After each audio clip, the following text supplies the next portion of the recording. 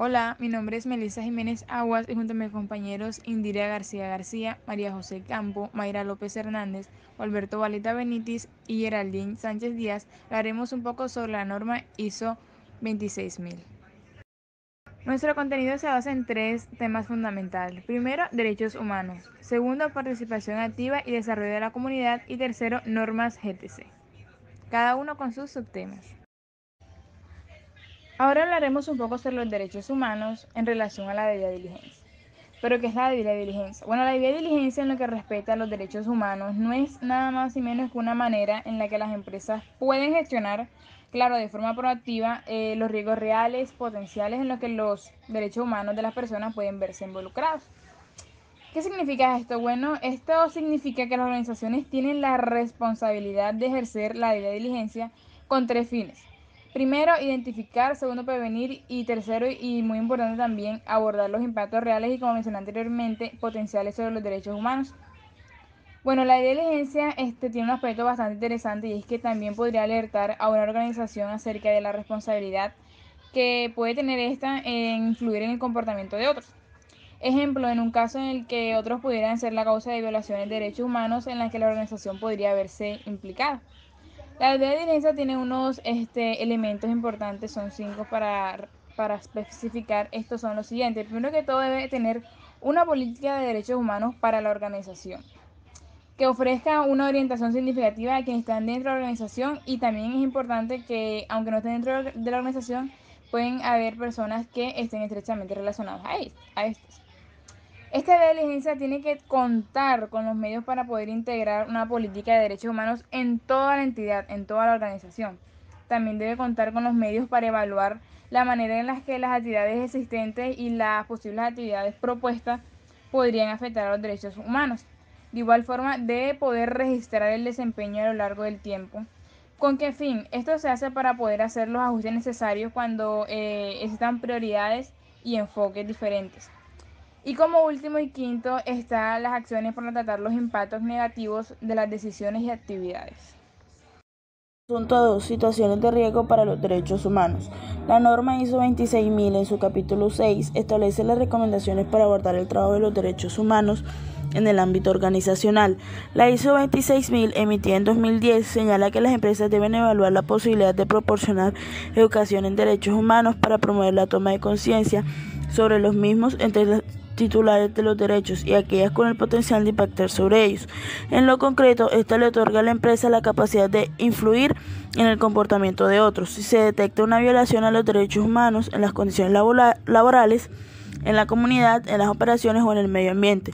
Al mismo tiempo, las organizaciones pueden encontrarse entre dilemas y desafíos vinculados a estos temas, que los pueden llevar a evaluar diversas situaciones de riesgo que existen en el campo de los derechos humanos y la empresa saber como son los conflictos o extremas inestabilidades políticas, fallos del sistema democrático o judicial, ausencia de derechos políticos o civiles, pobreza, sequía, problemas de salud extremos, desastres naturales, participación en actividades extractivas u otras actividades que podían afectar de manera significativa recursos naturales tales como el agua, los bosques o la atmósfera o perjudicar las comunidades, proximidad de las operaciones a comunidades de pueblos indígenas, actividades que pueden afectar o involucrar involucrar niños, una cultura de corrupción, cadenas de valor complejas que impliquen un trabajo desempeñado sobre una base informal que no cuente con protección legal, las necesidades de medidas de gran alcance para garantizar la seguridad de las instalaciones u otros activos. Estas recomendaciones estipuladas por la norma ISO 26000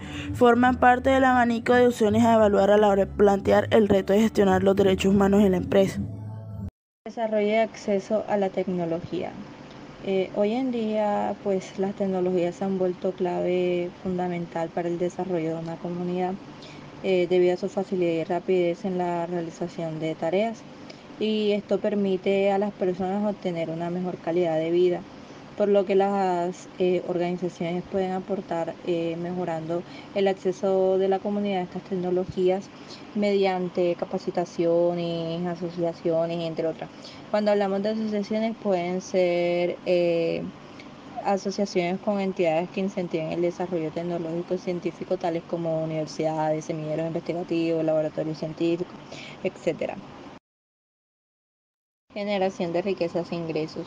No es un secreto que la diversidad en las actividades económicas corporativas son el motor principal de la generación de riquezas en la sociedad, debido a la variedad de sectores beneficiados, por lo que las organizaciones pueden ayudar a la generación de riquezas e ingresos promoviendo el emprendimiento en la comunidad, como mediante programas que ayuden al desarrollo de proveedores locales y generación de empleos. Además, el gobierno que rige una nación eh, depende de las contribuciones monetarias obligatorias de la comunidad para obtener pues ingresos que ayuden a abordar asuntos en desarrollo, tales como la educación, acceso a tecnología, eh, entre otros, salud, eh, por lo que las organizaciones aportan a la generación de riquezas e ingresos, contribuyendo de manera transparente con el cumplimiento de las leyes, regulaciones y pues aportaciones tributarias. Numeral 5.2.5.1 Comunicación interna. La comunicación dentro de la organización transmite información y facilita los procesos de gestión de cultura organizacional. Por ende, los procesos de comunicación deben ser interactivos y horizontales. Los procesos comunicativos se distinguen según el público dirigido y los propósitos que tienen cuando son deliberados. Por lo anterior, la comunicación interna permite compartir significados, afianzar valores y prácticas para constatar percepciones y puntos de vista personales y volverlos colectivos. La comunicación interna afianza y favorece la apropiación de la organización respecto a una visión de responsabilidad social. Se debe priorizar a las personas que causen mayor impacto cultural en la organización, alineando a los principios de responsabilidad social. Cada organización debe elegir los medios que favorezcan y apoyen los procesos de comunicación interna respecto a los procesos de responsabilidad social. Este tipo de canales son seleccionados por los colaboradores que dirijan este programa. Es posible recurrir a instrumentos como boletines, circulares, comunicados, reuniones grupales o equipos de trabajo, entre otros. Numeral 5.2.5 Comunicación.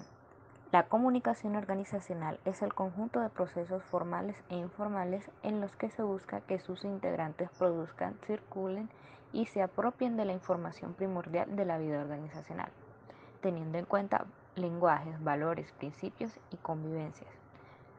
La comunicación es fundamental para la responsabilidad social comunicar dentro y fuera de la organización los compromisos que se asumen relevantes para concretar decisiones referentes a la responsabilidad social sean visibles y sostenibles a mediano y largo plazo.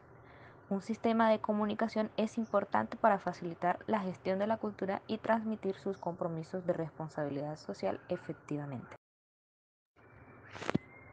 Numeral 5.2.2.6 Relaciones con otras organizaciones. Todas las relaciones entre las organizaciones deben alinearse a la responsabilidad social, es decir, mejorar el entorno en donde se desarrolla la organización, fomentar la competencia justa, la confianza y asegurar las relaciones comerciales justas, para así generar capital social a través de la institucionalidad y el tejido social. Las organizaciones deben fomentar relaciones cooperativas basadas en la confianza en todas sus relaciones con otras organizaciones. Esto supone que, primero, deben manejar las relaciones con otras organizaciones a partir de estrategias organizacionales y sus principios de responsabilidad social. Segundo, deben fomentar la responsabilidad social en relaciones comerciales o de cooperación. Tercero, promover alianzas y sinergias que permitan encarar los retos de la sociedad en una relación ganar-ganar. Norma GTC 180. Numeral 5.2.2.5. Estado. Se entiende según la norma que el Estado es el conjunto de instituciones que disponen de autoridad y potestad para establecer normas que regulen la sociedad teniendo en cuenta soberanía interna y externa sobre un territorio contar con organizaciones, con mecanismos que prevengan la corrupción en su interior y con terceros, hacen parte del buen funcionamiento del Estado. Tienen en cuenta que los recursos de fines sociales no deben desviarse de su objetivo, es decir, que esto pertenece al interés público. Las organizaciones socialmente responsables deben cumplir sus obligaciones legales, proponer y fomentar políticas que favorezcan los intereses colectivos, apoyar el desarrollo sostenible y asumir actitudes proactivas frente a las relaciones con el Estado. Asunto 6. Salud. Las organizaciones que desean incluir la responsabilidad social empresarial deben integrarla voluntariamente en la gestión, estrategia, política y procedimientos de la organización. Además, considerar las preocupaciones sociales, medioambientales y el respeto hacia los derechos humanos. La responsabilidad social se consigue cuando las organizaciones dan respuesta a las exigencias de las partes interesadas y cumplen satisfactoriamente los requisitos definidos en la ISO 26000. Las partes interesadas del sector de salud son trabajadores, pacientes, profesionales de la salud, administraciones, proveedores internos, distribuidores locales, entorno local y medio ambiente. La responsabilidad social aporta beneficios para la propia organización, ya que son los propios trabajadores los que disfrutan de las ventajas que suponen la incorporación de la RS. Además, gracias a la RSE, las relaciones de la organización con el entorno y con los agentes externos se ven favorecidos. Asunto 7. Inversión social. Bueno, este aparece cuando las organizaciones invierten sus recursos en iniciativas y programas orientados a los aspectos sociales eh, y relacionados con la vida en comunidad. Bueno, los tipos de inversiones sociales podrían incluir muchos proyectos. Ejemplo, pueden estar relacionados con educación, formación, cultura, cuidado de la salud, generación de ingresos, desarrollo de infraestructura, mejorar el acceso a la información o cualquier otra actividad. Lo importante de esto es que esta debe promover el desarrollo económico y de igual forma el desarrollo social. Eh, debemos entender que la inversión social no excluye la filantropía, es decir, que se aceptan subsidios, voluntariado y igualmente también posibles donaciones si las hay. Eh, también es importante resaltar que las inversiones sociales deberían priorizar proyectos que sean viables en el largo plazo y que principalmente contribuyan al desarrollo sostenible. Bueno, pero ¿qué debería contar o qué debería tener una organización para poder decir que aporta la inversión social? Bueno, lo que debe tener es lo siguiente. Primero, esta organización debería tener en cuenta la promoción del desarrollo de la comunidad al planificar eh, proyectos de inversión social. También debe evitar acciones que perpetúen este, la dependencia de esta comunidad en las actividades que está ejerciendo la organización. Esta organización también tiene que tener la capacidad de evaluar sus propias iniciativas, es decir, las ya existentes eh, y que están relacionadas con la comunidad, e informar a la comunidad y a las personas dentro de la organización dónde se pueden hacer las mejoras. Es importante también que, que se puedan aliar con ONG o empresas. ¿Cuál es el fin de esto? Bueno, el fin de esto principalmente es, es minimizar sinergias y hacer mejor uso de los recursos. Y por último, este, esta organización debe considerar construir programas de acceso a alimentación u otros productos esenciales. Eh, productos esenciales, eh, ¿por qué es importante esto? Es importante porque esto van a ayudar a grupos vulnerables o grupos que están discriminados eh, o personas con bajos recursos.